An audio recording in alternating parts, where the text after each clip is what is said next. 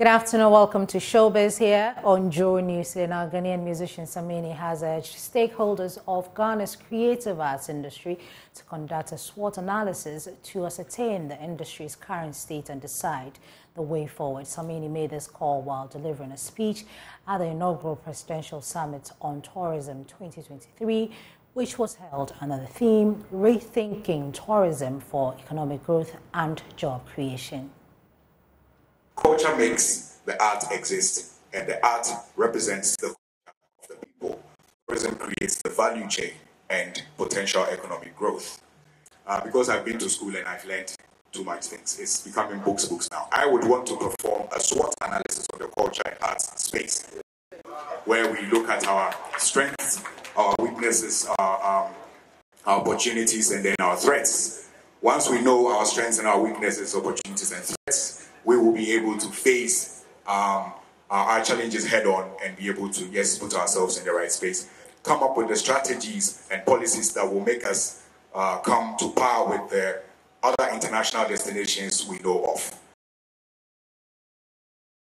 Away from Samini, Gamro's operating license has been withheld by the Attorney General's through the Copyright Office. This announcement was made at a press conference organized by the directors of GAMRO at the Nat Hall in Accra on Thursday. In his address, the chairman of the interim GAMRO Management Committee, Rex Omar, spelled out the consequences of the revocation of the license. He said as a result, GAMRO will not be able to distribute any collections as it is unable to follow the collection mandate until the license is renewed. We spoke to Rex Omar.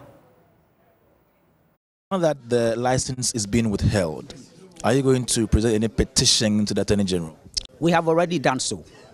Um, you know, as we got the letter from Copyright Office, um, we have also answered um, their requirement one by one because we, we believe that um, their requirement does not hold water. And we believe that what the law asks us to do so as to be able to continue to operate as a CMO, we've done just that. And it's the same thing we did that our license was renewed previously. So we don't understand. The law has not been changed, so we don't understand why.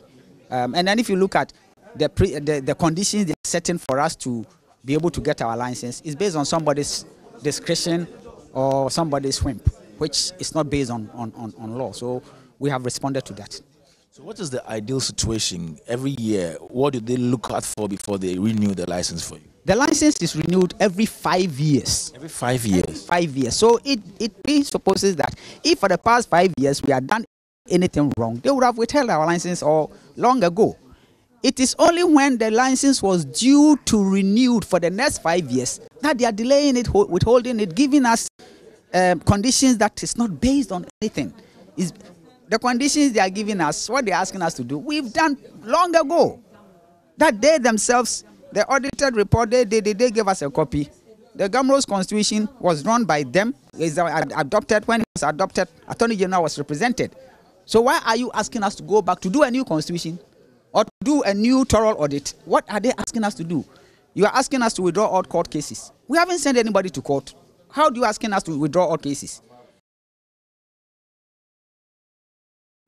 Now, Martin King Arthur, known in showbiz as Kofi Kinaata, has been appointed by the SDG Advisory Unit of the Office of the President as the voice of the Ocean and Goodwill Ambassador of the Ocean. The ambassadorial role was officially conferred on him by Dr. Eugene Owusu, the Special Advisor on SDGs to President Akufo-Addo at the end of the second day maiden edition of the National Blue Economic Summit here in Accra, Kofi Kinaata pledged to speak at all times for the protection of the ocean in order for future generations to benefit from the blue economy.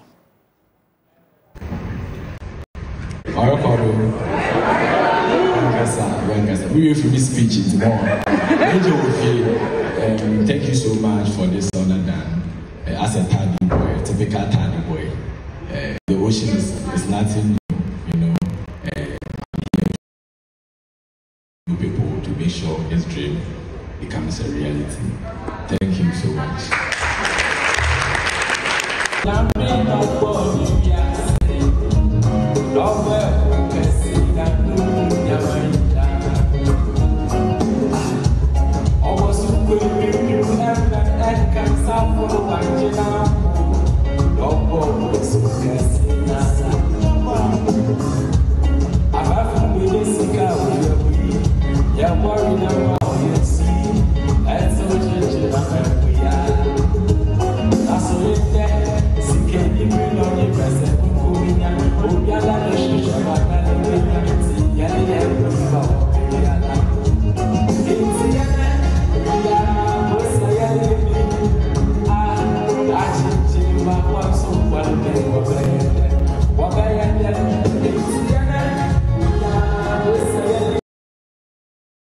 On that note, we end showbiz here on Joy News today, the small showbiz news and our subsequent bulletins, obviously.